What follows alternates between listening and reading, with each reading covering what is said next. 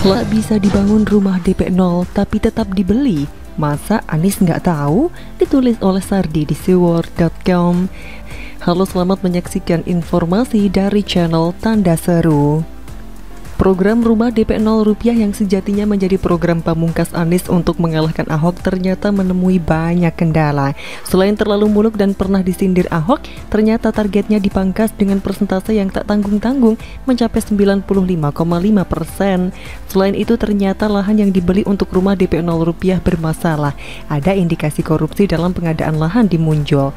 Saya singkat saja, kasus ini bermula saat Perumda Pembangunan Sarana Jaya atau BUMD DKI Jakarta bekerja sama untuk mengadakan lahan dengan PT Adonara Propertindo. Kemudian dilakukan perjanjian jual beli di hadapan notaris.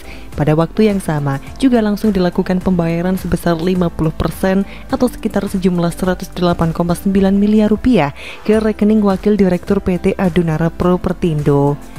Lalu beberapa waktu kemudian Sarana Jaya kembali membayar sekitar 43,5 miliar.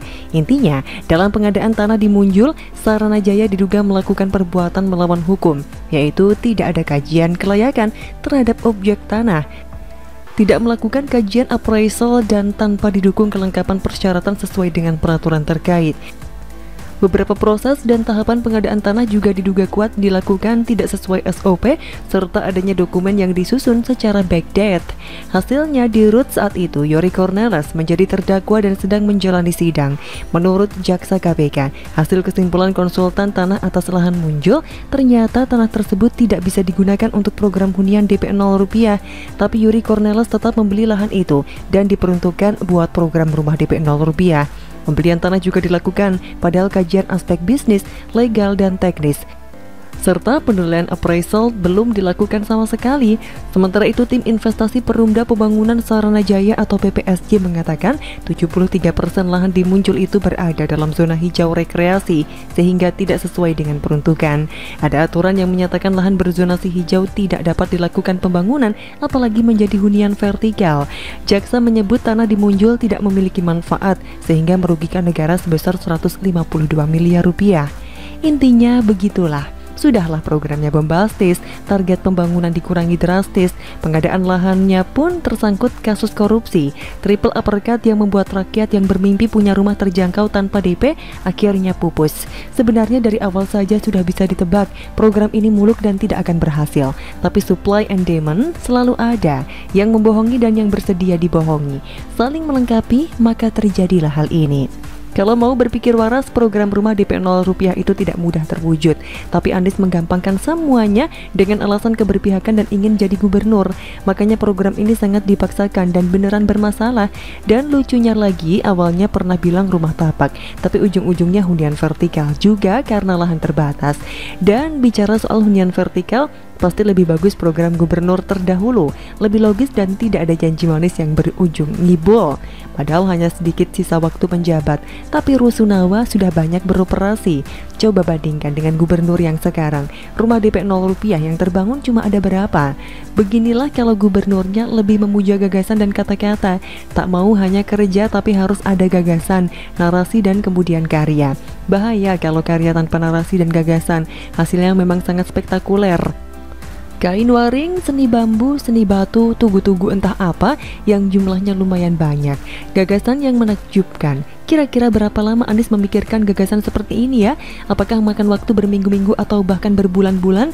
Dan pertanyaan yang paling penting adalah, publik pun heran apakah Anies tidak tahu sama sekali pencairan anggaran sebesar itu. Anggaplah Anies tak tahu, masa sih kecolongan terus?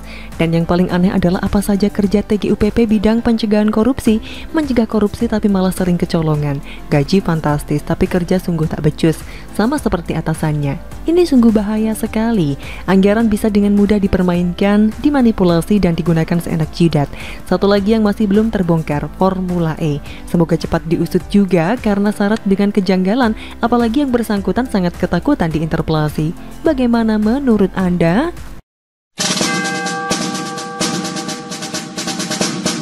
Potensi besar smelter Freeport Gresik versus peletakan baut pertama Formula E yang enggak jelas Ditulis oleh Widodo SP di seaworld.com Halo, selamat menyaksikan informasi dari channel Tanda Seru.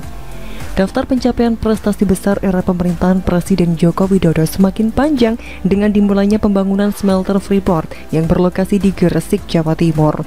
Proses groundbreaking alias peletakan batu pertamanya sudah dilakukan dan diprediksi akan langsung menyerap sekitar 40 ribu tenaga kerja selama proses pembangunan smelter itu dilakukan hingga rampung dan siap beroperasi penuh.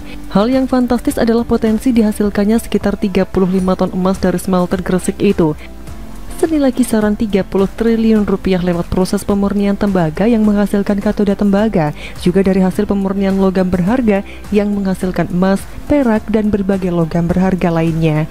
Seperti dilansir dari laman Kompas, saat proses groundbreaking dilakukan, Menteri Badan Usaha Milik Negara atau BUMN Erick Thohir mengungkap kemampuan produksi smelter PT Freeport Indonesia di Gresik itu memang luar biasa dengan nilai investasi yang tak kalah fantastis senilai 42 triliun rupiah.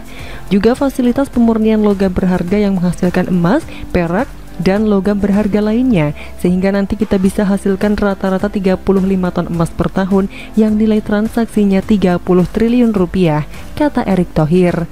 Nah sembari menantikan kelanjutan dari proyek pembangunan smelter PT Freeport itu kita juga sedang menantikan realisasi kabar soal pendapatan PT Freeport yang tembus 100 triliun rupiah tepatnya 105 triliun rupiah atau naik lebih dari 50% dibandingkan pendapatan sebelumnya. Kondisi yang sangat dipengaruhi dengan direbutnya kembali penguasaan saham PT Freeport dari kisaran 9% menjadi 51% pada pemerintahan Presiden Joko Widodo, bukan masanya mantan Presiden SBY tentunya. Perlu diingat baik-baik dan dicetak tebal supaya jangan sampai kelak ada klaim yang keliru. Selain itu, kenaikan pendapatan secara keseluruhan juga ikut menaikkan keuntungan bersih pada tahun ini dari yang semula ada di kisaran 10 triliun rupiah menjadi 40 triliun rupiah pada Desember 2021. Sementara itu bagi Presiden Jokowi, pembangunan smelter di dalam negeri bertujuan untuk memperkuat hilirisasi industri, khususnya sektor tembaga, dengan fakta bahwa cadangan tembaga yang dimiliki Indonesia sangat besar, sehingga Indonesia masuk sebagai tujuh negara dengan cadangan tembaga terbesar di dunia. Ini yang kudu dipastikan supaya potensi keuntungan besarnya juga dapat dikembalikan kepada rakyat dalam berbagai bentuk, supaya rakyat Indonesia juga bisa mengecap manfaat dari betapa kayanya negeri ini dengan potensi sumber daya alam luar biasa yang Tuhan anugerahkan. Masalahnya sekarang tentu bukanlah keraguan apakah smelter ini bisa selesai, lalu segera digaspol supaya target produksi tembaga dan logam-logam berharga lain dapat dimaksimalkan, melainkan apakah ke depan proyek besar warisan pemerintahan Presiden Jokowi ini bisa dijaga dan dipastikan hasilnya bermanfaat untuk negeri ini. Untuk itulah kita perlu doakan dan harapkan agar Presiden Republik Indonesia selanjutnya dapat senada dan seirama juga menangkap kerinduan seorang Jokowi agar potensi negeri ini dimaksimalkan dan hasilnya dipakai buat kepentingan rakyat. Oh ya, saya baca-baca berita kalau proyek smelter PT Freeport Gresik ini akan rampung pada 2023 lagi. Semoga penyelesaian tidak sampai molor sehingga Presiden Jokowi masih ada waktu sekitar setahun buat memberi arahan dan memastikan tahun pertama produksinya nanti bisa berjalan dengan lancar guna memberi dorongan awal untuk tahun-tahun berikutnya. Mohon jangan bandingkan proyek megah ini dengan pembuatan sirkuit Formula E karena sangat tidak sebanding. Lawang peletakan batu pertamanya saja masih tidak jelas begitu kok. Boleh ya saya pakai istilah itu? Kan lokasinya belum jelas. Jadi kalau mau dibikin acara peletakan batu pertama kan susah juga Mendingan letakkan baut bisa di meja sangga bener. Akhirnya silakan para haters abadi Pak D Jokowi terus nyinyir sampai maaf mulutnya suwe. Yang jelas prestasi dan berbagai kebijakan Jokowi sejak pertama menjabat 2014 sampai hari ini nggak bisa disangkal. Masih ada pula deretan proyek besar yang masih akan kita saksikan bersama selama tiga tahun berikutnya. Silakan kalau ada yang mau kejang-kejang atau sampai stroke sekalian Gara-gara tensinya naik sampai ambiar buat para haters Jokowi Bagaimana menurut Anda?